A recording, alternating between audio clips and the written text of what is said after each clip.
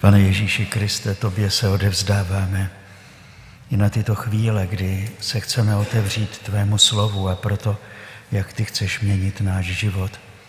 Důvěřujeme Ti, víme, že nás nikdo nikdy tak nemiloval jako Ty a víme, že nás přijímáš i v naší slabosti a ubohosti, takové, jací jsme. Veď nás krok za krokem a proměňuj náš život. Prosíme Tě o to. A dávej nám i světlo, odkud a kam chceš ten náš život vést. Amen. Tak už jsme v první dnešní přednášce mluvili na téma obrácení. Říkali jsme, že v tom textu, který máme jako moto, slova Pána Ježíše, obraťte se, věřte Evangeliu, ten řecký text používá slovo obrácení ve smyslu směna smýšlení.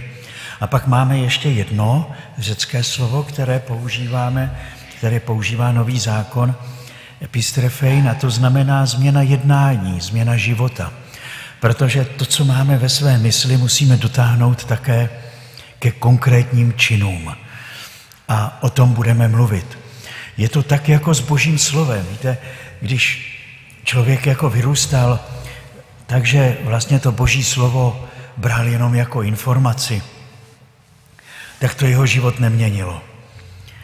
Když potom mu pán dal nějak milost, že začal vnímat, že to, co je ve slově božím, se ho týká, a dokonce ho slovo boží začalo oslovovat, to už je veliká milost. A většina z nás asi tím obdobím prošla, kdy jsme najednou objevili, že v tom božím slově jsou nejen zajímavé informace, ale že se tam píše o nás. A že to dotýká se našeho nitra. Já si pamatuju, to bylo v období, kdy jsem zuřivě si podtrhával v Bibli všechna ta místa, která mě oslovovala. No a pak přišla chvíle, kdy pán Ježíš řekl, ale já bych byl rád, kdyby četl i ta místa, která tě neoslovují, protože všechno je pro tebe. A uvědomil jsem si, že Boží slovo nestačí číst jenom jako slovo, které mě pohladí. A to už to je veliká věc, když se potěším nad Božím slovem, ale že je to Boží slovo proto, abychom ho žili a uskutečňovali. A jak Pavel, tak Jakub ve svých listech píšou o důležitosti toho vykonání Božího slova. Že nejde jenom o to poznání, co je správné, ale abych to uvedl do života. No a to začíná změnou toho našeho smýšlení ve světle Božího slova v mocí Ducha Svatého. Až do takové míry, že apoštol Pavel věstě Filipanům napíše, mějte v sobě to smýšlení, které bylo v Kristu Ježíši. No tak to je velká ambice. Smýšlet jako pán Ježíš. A Pavel hned pokračuje, máme to ve druhé kapitole listu Filipanům, v tom nádherném hymnu na Kristovu pokoru a jeho ponížení. Ponížil se, ačkoliv to byl boží syn, zřekl se sám sebe. Stal se služebníkem, otrokem, stal se, jako by byl jedním z nás, žil náš židot, podobal se nám ve všem, kromě hříchu. Ponížil se úplně pod celé stvoření. A tou podstatou Ježíšova smýšlení bylo to, co ten Pavel tam vyjadřuje zvláštním pojmem vyprázdnil se. On byl boží syn, ale on během svého pozemského života nečerpal ze svého božství. Žil svůj pozemský život jako každý z nás a konal to, co se líbí otci, to poznával v těch nočních modlitbách, kdy naslouchal otci a sám pak říkal, já nekonám vůli svou, ale vůli svého otce, konám to, co jsem viděl a konat svého otce, co jsem slyšel, konat svého otce. To já konám, říkám slova, která jsem slyšel od něj. A ve všem se nechal vést duchem svatým. A tak se nám stal jedinečným příkladem. On, kdyby žil ze svého božství, tak bychom ho nemohli následovat. Ale tím, že žil v lidském těle a nepoužíval tu božskou moc, to vidíme třeba v pokušení na poušti, kdyby tam zapojil svoji božskou moc, tak ten ďábel ani nestačí doříct větu. Rozumíte? to prostě ten střed, který se odehrával v poušti, to byl střed člověka a démona. A Ježíš nad tím démonem zvítězil poslušností Otci, mocí Božího slova a poslušností Duchu Svatému. Vůbec se s ním nebavil. A jenom mu vždycky položil slovo Boží, kterým ho odrazil a nakonec mu řekl, jdi, odejdi, satane. A tak nám dal příklad, jak máme i my bojovat se zlem. A pak nám dával příklad ve všem, co žil, že nekonal svoji vůli. My jsme si říkali v té prvním dnešním zamyšlení, jak je to pro nás těžké zříct se té své vole, ty otěže svého života dát Pánu Bohu do rukou. Konat to, co chce On a přitom je v tom ta největší svoboda, kterou můžeme mít. Nehledě na to, že je to jediný způsob, jak Bůh může měnit náš konkrétní život. A my jsme povoláni, abychom se nechávali mocí Boží proměňovat, posvěcovat. A to i naše tělesné chování, naše jednání. Že nestačí měnit smýšlení. Je třeba měnit podle Krista to, jak konkrétně žiju, jak mluvím, jak se chovám. Cílem je, aby naše tělo, které má být chrámem Ducha Svatého, bylo zcela uzavřeno působení zlého a zcela uzavřeno právě jenom pro naše lidské libůstky. V Novém zákoně se pro tělo používají dva řecké výrazy. To jedno soma, to znamená naše fyzická stránka. Tělo, které jsme dostali od Boha. Je to veliký nezasloužený dar, že žijeme v těle. Proto se k němu máme chovat s velikou úctou. A v tomto smyslu Pavel píše o tom, že naše tělo je chrámem Ducha Svatého. Čili máme o něj pečovat. Samozřejmě, že ne víc jako svého ducha. Jo? Naše tělo má být podřízeno duchu. Ale taky je špatně, když se lidé prostě mrzačí nebo si ubližují, nemají se rádi, odmítají to tělo, které jim pán Bůh dal. Pán Bůh ví, proč máme zrovna to tělo, který máme. Na tom přece vůbec nezáleží. Důležité je, aby to tělo sloužilo Bohu a druhým lidem. Pán Bůh nedělá zmetky, dělá jenom krásné originály. A důležité je, abychom to dokázali přijmout a to naše tělo naplňovali Duchem Svatým. No a pak používá písmo svaté ještě jeden výraz, sarx, a to je tělo ve smyslu tělesnosti. A s tím je problém. Protože ta naše tělesnost byla narušena už dědičným hříchem a každým naším hříchem jsme k tomu přidali. A my jsme povoláni, abychom ty projevy tělesnosti, které patří k té naší staré přirozenosti, než jsme poznali Boha, k tomu, co Pavel nazývá starý člověk v nás, tak to máme krotit, podřídit Bohu. Ale my nejsme schopni sami ze sebe to dělat. My se proto musíme rozhodnout. Ale vlastní silou nejsme schopni usmrtit starého člověka. Lidově se říká, že ten náš starý člověk stejně umře půl hodiny po naší smrti. Ale já bych byl přece rád, kdyby zemřel dřív. Protože ten nás pokouší. Ty staré návyky hříchů, to, co jsme kdysi do svého života pustili. A záleží jenom na nás, jestli to budeme chtít jako součást svého života nebo ne. A jestli se toho zřekneme a budeme prosit Boha, aby to z našeho života On odstranil. Tohle Bůh za nás neudělá. To musíme udělat my, to rozhodnutí. A Bůh nám dá svou milost, aby to nakonec dopadlo dobře. Celý náš život nás zve, abychom s ním spolupracovali, stejně jako Ježíš spolupracoval s Otcem a s Duchem Svatým. A poštol Pavel v 8. kapitole Římanům napíše, jestliže s pomocí ducha ničíte záludnosti těla, budete žít. Čili to tělo je záludný. A to tělo, znovu opakuji, se myslí ta tělesnost. Čili naše hříšné smýšlení, jednání, návyky, zlozvyky.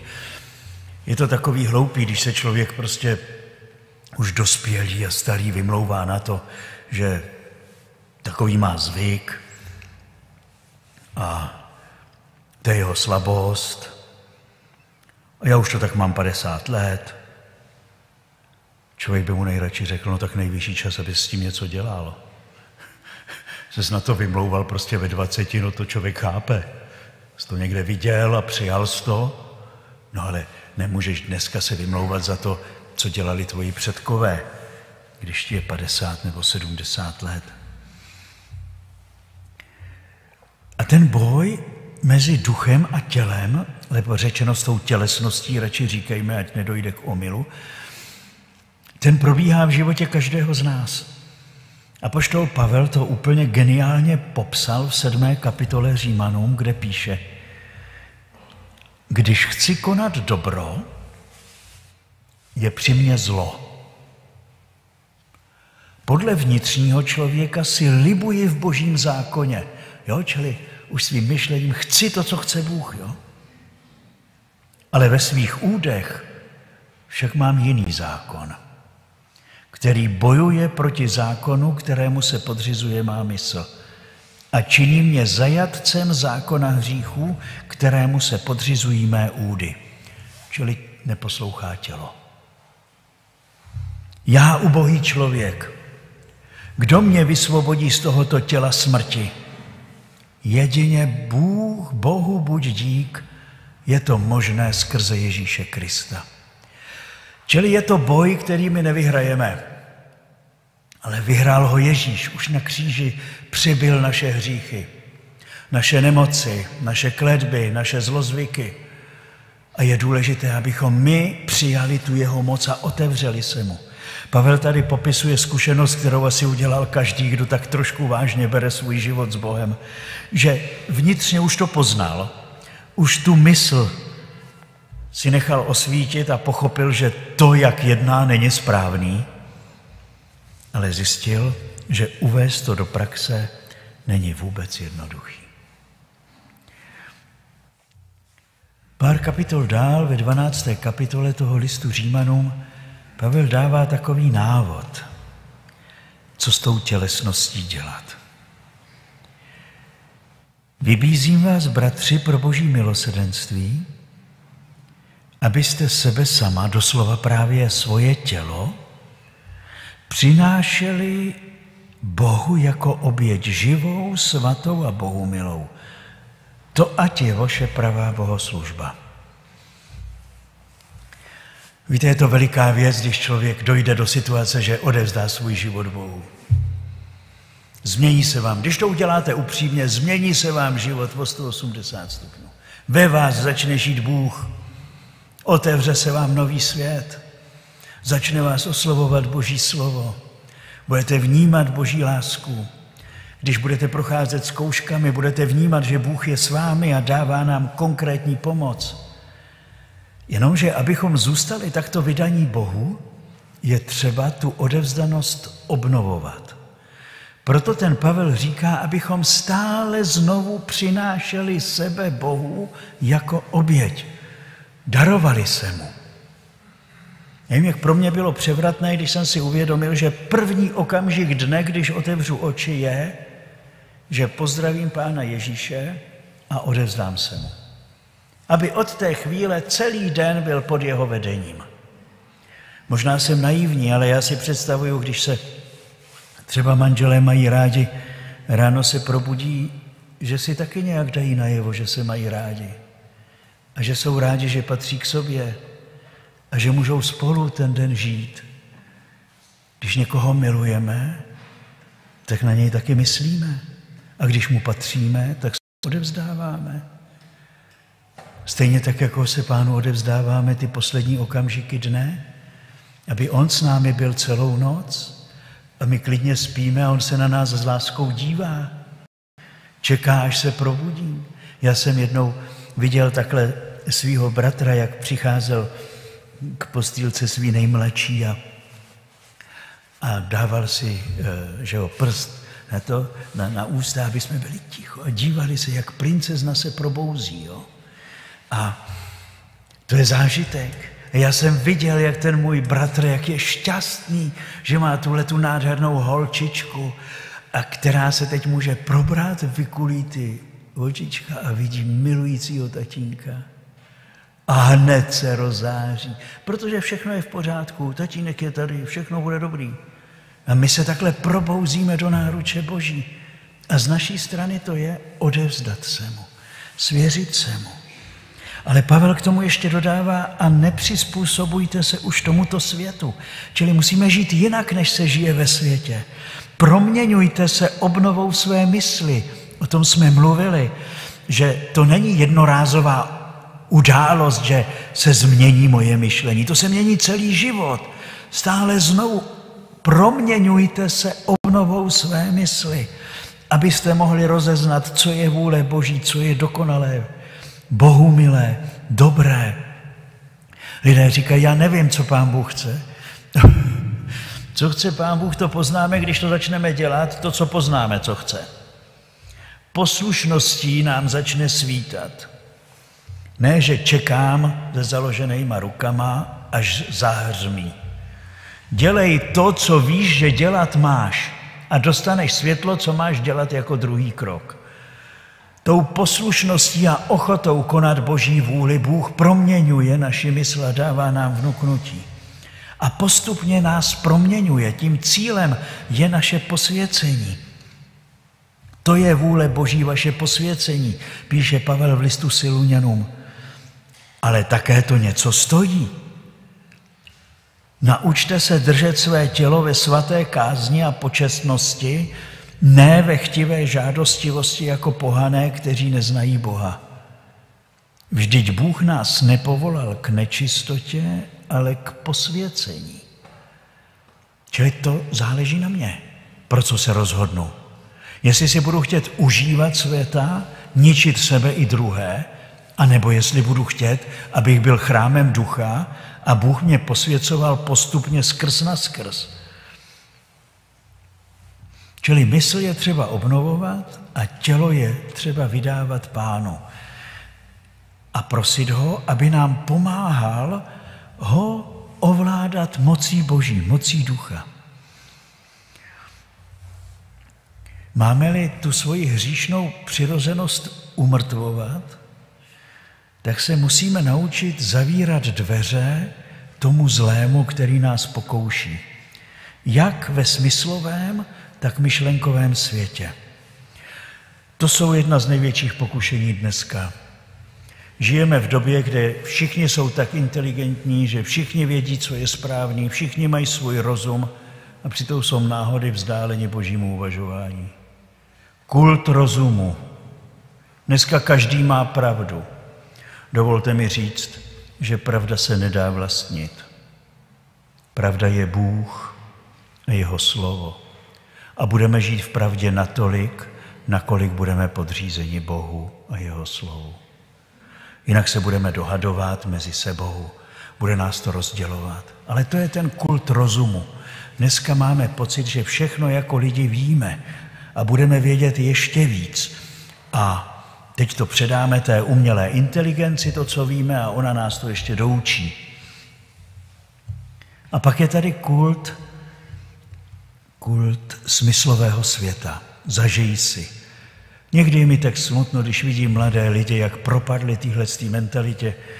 Možná, že tady v tom vašem kraji, že to je jinak, ale já už léta působím na okraji Prahy a ten smyslový svět je tam vyhrocený neskutečným způsobem prostě. Užívat si, užívat si, užívat si za každou cenu, nevíš, co bude zítra. Na nás záleží, jak moc se tomu otevřeme nebo ne. Když pán Ježíš dopověděl svoje podobenství o rozsévači, tak ve čtvrté kapitole Markova Evangelia říká, dávejte pozor, co posloucháte. Proč? Protože skrze to slovo Jde do vašeho nitra dobro nebo zlo? Dávejte pozor, co posloucháte. Kolik času věnujeme zprávám zábavě, sdělovacím prostředkům, kolik božímu slovu, kolik času věnujeme lidem, které máme rádi, se kterými sdílíme život. A druhá věc je stejně tak, dávejme pozor na to, na co se díváme. Kolikrát lidi mě prosili, pane faráři, já nemůžu spát. Já říkám, co děláte před spaním? Já bych taky nespal. Já, kdybych do poslední chvíle dne seděl u počítače, anebo se dokonce díval na nějaký nesmysly, já bych se s tím budil. Já neříkám, že se nebudím, tak jsem starší člověk, ale protože poslední hodiny dne věnuji prostě modlitbě a božímu slovu, tak se budím s božím slovem a s modlitbou. S čím usínáš, s tím se budeš budit. A když se budím s modlitbou, tak zase hned usnu. A když neusnu, tak se aspoň pomodlím. Stejně tak záleží na tom, s kým se setkáváme. Protože, jak se lidově říká, že spatná společnost kazí dobré mravy. Zase promiňte, že tak zmiňuju, prostě jsem starší člověk, už můžu vzpomínat, ne? Moje rodiče v době totality, tatínek velice dbal na to, aby jsme se jako rodina stýkali s věřícími rodinami. Aby jsme tam našli svoje přátele. Každou neděli odpoledne jsme šli na vycházku a častokrát jsme vždycky došli aspoň na chvíli do rodiny těch našich přátel. A byli to lidé, kteří měli stejně staré děti jako my, chodili do kostela a tatínek říkal, že chce, aby jsme věděli, že žít životem, jako žijeme my, je normální. Čili, že jsou i jiní lidé, kteří jsou věřící a chovají se jako věřící. No a samozřejmě, že to byli pak kamarádi, se kterými jsme jezdili na vandry, kde vznikala přátelství, někteří se tam taky našli prostě své životní partnery. My si vybíráme společnost, my jako dospělí, ale jako rodiče vybíráte i společnost svým dětem. Kdo na ně má vliv? Protože dneska je to o to složitější, že vy sice dítěti odkládáte dár chytrého mobilu, nebo když mu ho dáte, tak mu pak zablokujete některé věci. No jo, ale jestliže on přijde do společnosti, kde mu kamarád ukáže to, co neměl vidět ještě 20 let nebo nikdy, záleží na tom, v jakém prostředí ty děti jsou. A je důležité, stejně tomu nemůžete ubránit, ten svět se bude tlačit do jejich života i ten svět prostě sprostý a smyslný a zvrácený a násilný. A, ale je důležité, aby dříve, než to přijde do života vašich dětí, aby ty děti měly v sobě Boha, aby se věděli, jak bránit, aby to nechtěli, aby měli od vás informaci, že tohle ne. A to musíte mít také tu duchovní autoritu ve své rodině si pamatuju, samozřejmě už tenkrát jsme taky donesli občas ze školy nějaký slovo, který jsme neznali. Stačilo ho vyslovit jednou. A maminka nebo tatínek řekli, takhle se u nás nemluví. Tohle se u nás neříká. A protože měli autoritu od Boha požehnanou, tak to bylo jasný. Já jsem teprve jako kněz po letech služby, když jsem sloužil, že 20 let jsem sloužil jako exorcista, a když jsem slyšel, jak sprostě nadává, steká se a mluví ďábel skrze ty posedlé lidi, Kolikrát jsem tam měl někoho třeba, kdo mě pomáhal, říkal, v životě už nevyslovím to slovo, co jsem slyšel. No protože tak mluví boží nepřítel. Proč my máme mluvit z prostý slova? Hrubý slova? Takhle nás to Bůh neučil. Proč máme v tomhle prostředí vychovávat svoje děti? A když se s tím setkají, aby věděli, ne, tohle nechci, protože to není dobře. A ono to začíná tím, co slyším, tím, co vidím, tím, s kým se stýkám. To ovlivňuje moje myšlení a pak následně svoje jednání. A my jsme povoláni, abychom jednali tak, jak jednal Ježíš. A je důležité, abychom chtěli tu smrt toho starého člověka. Protože tělo touží proti duchu a duch zase proti tělu. Pavel říká, mezi nimi je vzájemný odpor, takže neděláte, co byste chtěli. Ve chvíli, kdy zjistíte, že děláte něco, čeho hned litujete, musíte tomu začít věnovat pozornost. Za prvé říct Pánu Ježíši, nechci to. Zříkám se toho. Prosím za odpuštění. A pomoz mi se z toho dostat. To nejhorší je, když člověk začne předstírat, že vlastně už světu a všemu hříšnému zemřel, navenek se tak chová a vevnitř to tak není. A to je pokrytectví. A je to absurdní myslet si, že Bůh nevidí do našeho srdce. Že obelžeme Boha.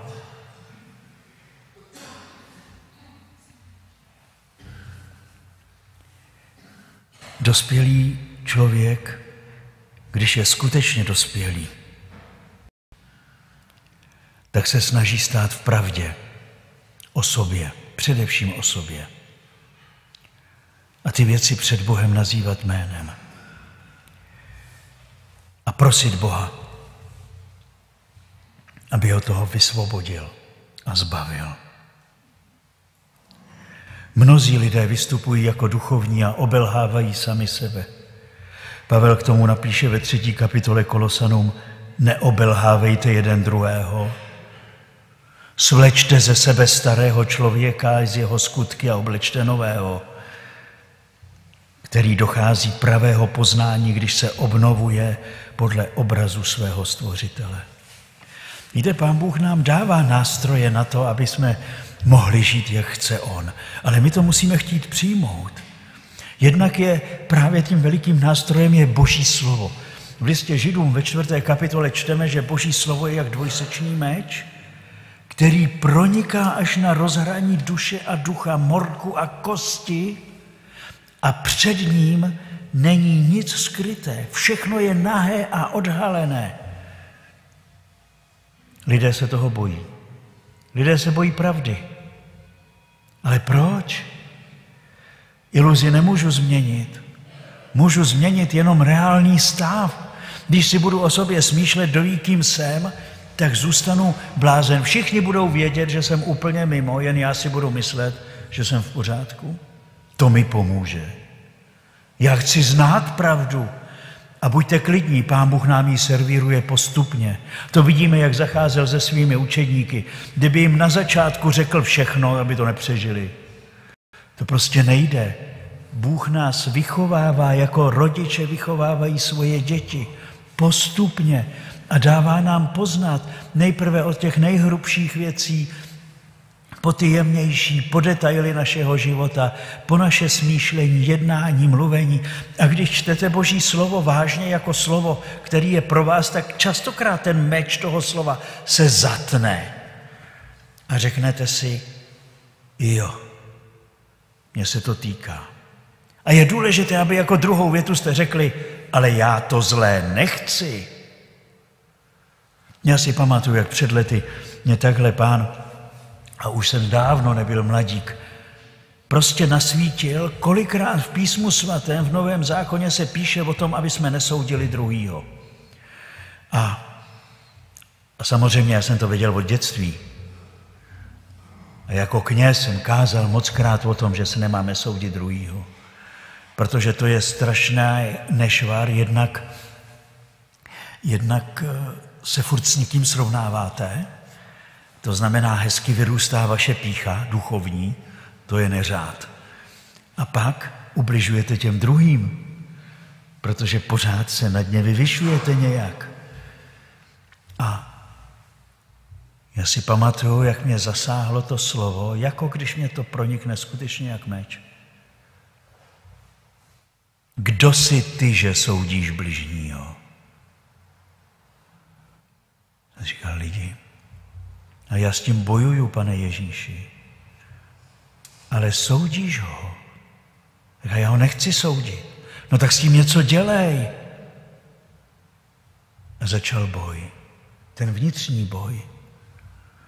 O to, abych se na druhého díval pohledem božím. Na jednom setkání, když jsme měli jako bratři řeholní takové zasedání. A teď jsem se tam díval takhle po těch tvářích a tak jsem jen tak poprosil, pane Ježíši, jak ty nás vidíš, co? Jak ty se díváš na mé bratry? A najednou přes okno přišel paprsek světla a zazářil na tvář jednoho mého bratra. A já jsem měl poznání, jak ta jeho tvář září. Mě úplně zatrnulo. A říkal jsem si, dej mi ten pohled na ty bratry, který máš ty. Ať se na druhé dívám tvýma očima, ať je neposuzuju, nesoudím, ať je dokážu přijmout takové, jací jsou. Tady nejde o to, aby jsme byli slepí k tím, že někdo jedná špatně nebo říká nesmysly, ale aby jsme je nesoudili. A když to slovo přijde a pronikne vaše srdce, tak vás to změní. A v té chvíli může člověk dělat pokání za to, co nedělal špatně a někdy i zpětně. V listě Židům v 6. kapitole, v 9. čteme o pokání z mrtvých skutků. To je zvláštní výraz, protože mrtvé skutky to jsou skutky, které člověk dělá bez Boha, podle sebe, ze svého rozhodnutí, protože v tom není život. Život je jenom v tom, co koná Bůh. My nejsme dárci života. Dárcem života je Bůh a jeho slovo. Proto je tak důležité, jak říkala Matka Boží, Pana Maria, ať se mi stane podle tvého slova. Já chci jednat podle slova Božího, protože v tom je život a to přináší ovoce. No a mrtvý skutek je, když ho dělám ze sebe. A samozřejmě, že učíte svoje děti, aby dělali dobré skutky. To je v pořádku. Učíte je, aby byli slušní, aby pomáhali jeden druhému, aby se úctivě chovali ke starším lidem, pustili je sednout. To už v Praze neexistuje desítky let. Tam stařenky nastupují do autobusu poslední a stojí u dveří. Výjimečně se najde někdo z těch mladých, kdo je pustí sednout. Já si říkám, to je konec civilizace. Stařenka jde s nákupem a s hůlkou a stojí tam prostě. Člověk by nejradši tak jako tomu mladému řekl, prosím tě, zvedni se. Ale popravdě řečeno, když to řeknete, tak jednu chytnete a druhou chytnete o dveře. Takže buďte rádi, že jste v prostředí, kde ještě pořád je nějaká úcta jednoho k druhému. Jsou výjimky. A když se to stane, víte, co ten starý člověk řekne? Je, vy jste tak hodná, paní. Slečno, vy jste tak hodná, děkuju moc. Úplně překvapená, že se ještě někdo najde, kdo pustí starého člověka. Takže děti učíme zásadám, učíme je pravidlům, učíme je principům.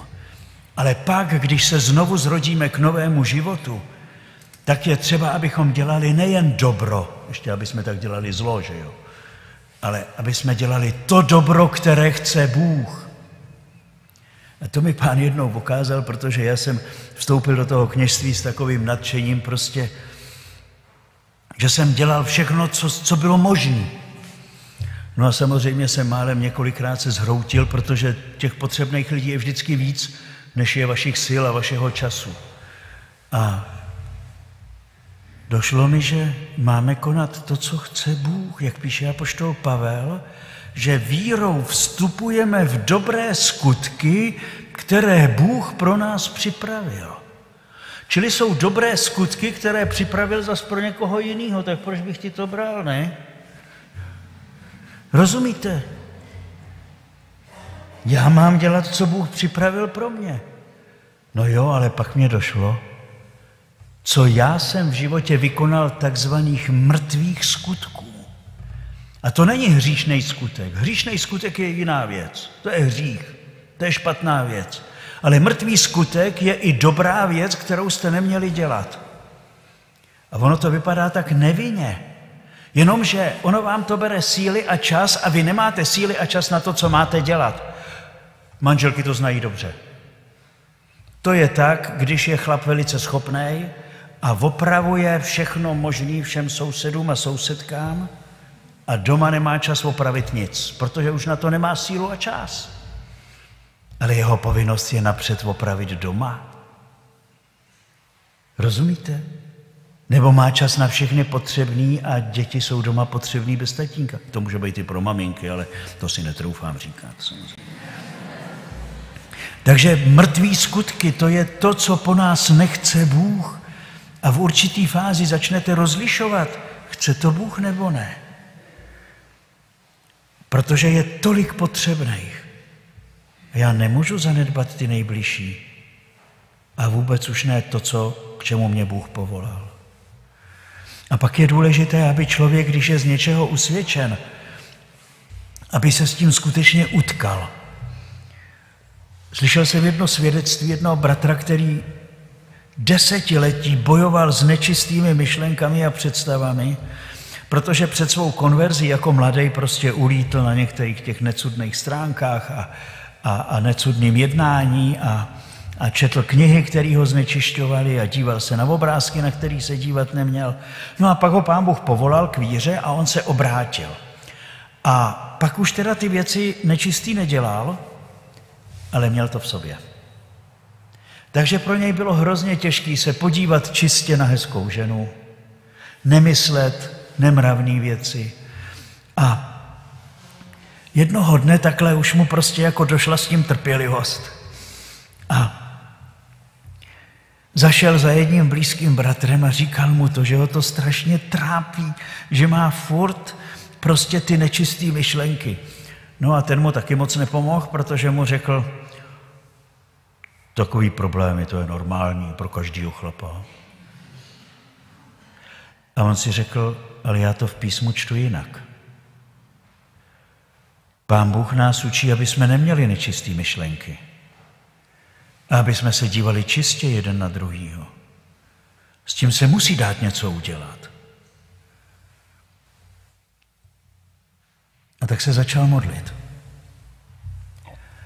Říkal, pane Ježíši, ty jsi mi dal nový život a já se dovolávám moci tvého nového života. Já chci mít tvoje smýšlení a já se zříkám všech necudných myšlenek v obrazu. Znovu ti vydávám všechno, čím jsem se znečistil v době, kdy jsem byl nerozumný a otevřel jsem se těmhle s těm zlým věcem a taky těm démonům, kteří zatím jsou. A já se jich zříkám a dělám pokání a prosím tě za odpuštění a pomoz mi, odpust mi, vysvoboď mě. A pak se sám vnitřně postavil proti zlu a řekl, ve jménu Ježíše Krista teď přikazuji všem těm myšlenkám nečistým a těm démonům, kteří jsou zatím, aby mě opustili. Patřím Kristu a moje myšlení patří Kristu, moje touhy patří Kristu, moje emoce patří Kristu. Nechci s tím mít nic společného. A skončil modlitbu. Říkal, a od té doby to nebylo. Říkal, pak přicházel boží nepřítel a pokoušel, ale pokoušel zvenku. Už jsem to neměl vevnitř. Už jsem věděl, že ty myšlenky nejdou ze mě. Že ťuká. A to je, jak kdo si řekl, jako s návštěvou. Víte, můžou u vás u dveří zazvonit. Ale jestli je pustíte dovnitř, to je vaše rozhodnutí. A boží nepřítel vás může pokoušet, ale jestli ho pustíte do svého nitra, to je vaše rozhodnutí. Jestli pustíte ten seriál, ten film, jestli se podíváte na ty stránky, to je vaše rozhodnutí. A jestli v tom nemáte svobodu, tak proste pána, aby vám ji dal a zřekněte se té nesvobody. A on dál pokračoval jako svědectví, že od té chvíle se přestal úplně dívat na televizi, protože úplně nově si uvědomil, že je to v každém druhém pořadu je nějaká nečistota. Že je tam něco, co vůbec nejde dohromady s mým rozhodnutím žít, jak chce pán Ježíš. Velice důsledně si vybíral filmy. No to já už taky od dětství, protože my jsme toho moc neviděli a mě to pak začalo tak vadit. A já si dneska říkám, já jsem tak rád, že jsem některé věci neviděl. A když už jdu na nějaký film, nejsem schopen už do kina, protože mám rád ticho a, a ten hluk mě prostě ničí. Ale tak třeba když bratři přijdou s něčím a je to teda jako opravdu pěkný film, tak zase chci, aby jsme, když se na to podíváme, aby jsme si o tom popovídali. aby jsme si řekli, co nám tam došlo nad tím filmem. Já si pamatuju, když jsem byl jako kaplan ještě a tenkrát občas pronikl nějaký pěkný film. Byl jeden film, jmenoval se Pokání, pak Misie. A já, protože jsem tam měl skupiny mladých, tak jsem vždycky do toho kina šel, ještě jsem byl mladý, tak mě to nevadilo. A taky to kino tak neřvalo, jak dneska. Podíval jsem se na to. Pak na společenství jsem jim řekl, o čem to bude. Pak jsme se šli společně podívat a pak jsme zpětně o tom mluvili. Protože nechat do sebe proudit věci jako nic, to se na to nemusím dívat. Ale abych dobře přijal to, co je tam za poselství, a jsou filmy, které mají silný a dobrý poselství, jsou i filmy o Pánu Ježíši a mnozí mladí je znáte. A já vím, že naši bratři třeba pro běžmovance mají takový, jako a pak s nimi o tom povídají, to je naprosto v pořádku. Ale prosím vás, dávejte pozor, na co se díváte. A co pouštíte do rodiny, do svých vztahů. A on říkal, a od té chvíle jsem dobře zvažoval, na co se dívám, komu naslouchám a s kým se stýkám. Jestli máme dělat věci boží, musíme přestat dělat ty věci špatný. A když nebudeme měnit svoje chování a svůj život podle Boha, tak nakonec my si sami to obhájíme. Víte, když někdo má nějaký problém, tak za chvíli začne, začnete slyšet, jak obhajuje to, co si myslí a co dělá. A ono to působí tak, že on se přesvědčí. A on je přesvědčený, že takhle to je správně. Takže my jsme nakonec schopni si vytvořit vlastní morálku, vlastní teologii, vlastní výklady písma. To dneska ne. Prostě nechce se nám to měnit, nechce, nechceme se my měnit, tak měníme ten názor. A pak vám ty lidi řeknou, no dneska je taková doba, víte, pane faráři. Jaká doba? Jak jsme si to říkali včera? Od příchodu Pána Ježíše je doba plná Boha, plná jeho lásky, plná Ducha Svatého. Jaká jiná doba? Naše poslání je měnit tu zvrácenost té doby a ne se tomu přizpůsobit. My jsme povoláni jít do světa, zvěstovat evangelium, přinášet poselství Boží a napřed musíme mít v sobě. Samozřejmě, že evangelizovat do hříšného prostředí může ten, který s tím nemá nic společného. Když jde alkoholik evangelizovat do hospody, tak to asi dobře nedopadne. Na druhou stranu, když prostě se někteří věřící bojí toho světa, ať se svět bojí nás, křesťan, který má v sobě Boha, se nemusí bát přijít do nevěřícího prostředí. Ať nechodí do zvráceného prostředí, který, kam ho Bůh neposlal. Ale když jsme posláni k těm nevěřícím, my jim dlužíme svědectví Evangelia, my jim dlužíme dotek boží lásky. A mezi nevěřícími nejsou všichni zvrácení. Jsou to lidi, ke kterým se jenom nedostalo evangelium. Ten, který je ve vás, je mocnější než ten, který je ve světě, píše apoštol Jan ve svém prvním listě. Ten, který je ve vás, je mocnější než ten, který je ve světě. My se nemusíme bát světa ani zlých lidí. My musíme žít v bázni Boží. A Bůh, který je v nás, tak ten je mocnější. A my se učíme chodit v poslušnosti Bohu, poslušnosti Jeho duchu, Jeho lásce. Proto je tak důležité opravdu vědět, do kterých vztahů investujeme, s kým se budeme sdílet, s kým se budeme stýkat. Je potřeba vědět, s kým budeme mluvit o božích věcech a kde radši budeme mlčet. Je třeba si dávat pozor, jak mluvíme sami, jak se chováme, aby jsme v srdci neměli žádný hněv, nenávist, neodpuštění. Víte, že ta doba je tak náročná proto, aby se lidé navzájem nenáviděli.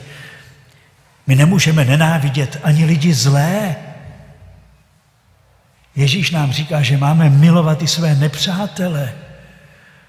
Já nemůžu souhlasit s tím, co lidi dělají, ale nemůžu je nenávidět. Vždyť jsme všichni stvořeni k obrazu Božímu. Je třeba, aby Bůh mohl jednat skrze nás, protože On chce, aby jsme se mu co nejvíce podobali. A poštol Petr ve svém prvním listě napsal, buďte střízliví a bděte, protože váš ďábel, váš protivník ďábel obchází jako řvoucí lev a hledá, koho by pohltil. Postavte se proti němu silní ve víře. Čili vírou můžeme stát proti veškerému zlu. Co to znamená? O tom budeme mluvit odpoledne. Duchovní boj vedeme ve víře, že patříme Bohu. Máme Boha v sobě a máme jedinečné a krásné poslání, které nám Bůh svěřil. A my ti, pane, za to děkujeme a svěřujeme se do tvých rukou. Dej nám tu milost, abychom nežili ve strachu, ale v moci Boží v lásce, která přemáhá svět. Amen.